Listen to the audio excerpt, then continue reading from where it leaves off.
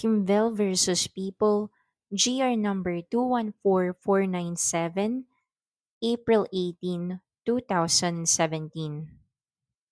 This is for criminal procedure, specifically on sufficiency of complaint or information. This case was about how the second element of the crime of acts of lasciviousness as penalized under Section 5, Paragraph B of RA 7610 should be alleged in the information. This was an original case for acts of lasciviousness as penalized under Section 5, Paragraph B of RA 7610 filed against petitioner Quimvel.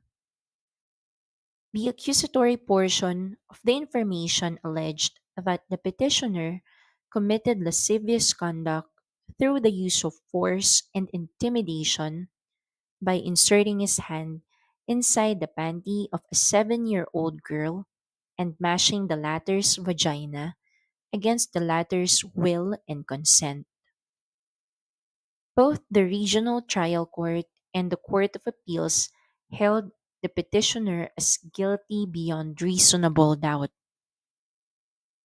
On appeal before the Supreme Court, the petitioner argued, among others, that his conviction was incorrect because the information against him was deficient for failure to allege all the elements necessary in committing acts of lasciviousness under Section 5, Paragraph B of RA 7610.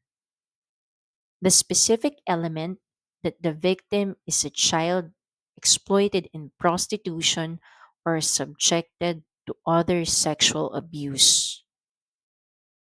On the other hand, the respondent maintained that children, whether male or female, who for money, profit, or any other consideration, or due to the coercion or influence of any adult, syndicate, or group, indulge in sexual intercourse or lascivious conduct are deemed to be children exploited in prostitution and other sexual abuse.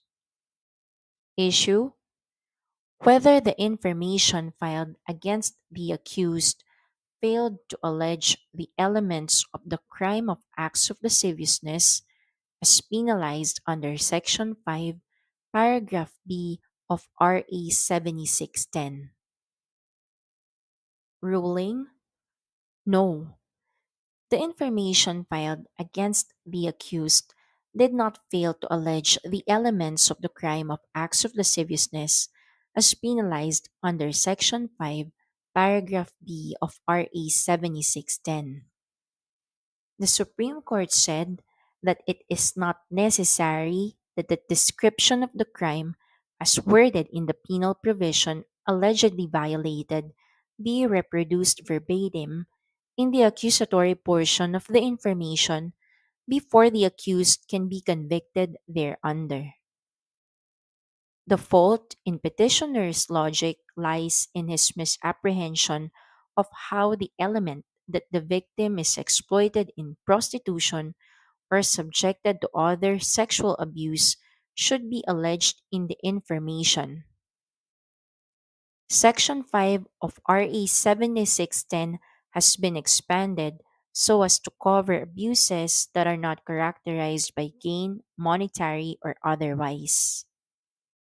In the case at bar, the abuse suffered by AAA, the victim, squarely falls under this expanded scope as there was no allegation of consideration or profit in exchange for sexual favor. As stated in the information, petitioner committed lascivious conduct through the use of force and intimidation.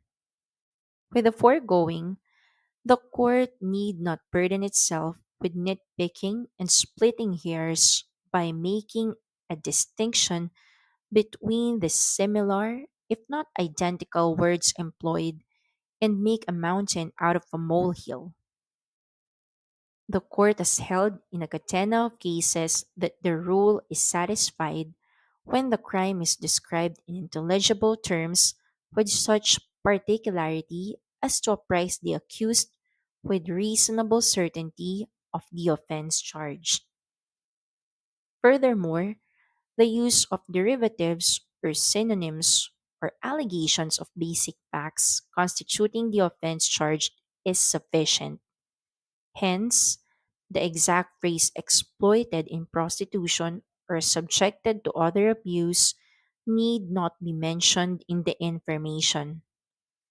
Even the words coercion or influence need not specifically appear. Therefore, the information filed against the accused did not fail to allege the elements of the crime of acts of lasciviousness as penalized under Section 5, paragraph B of RA 7610.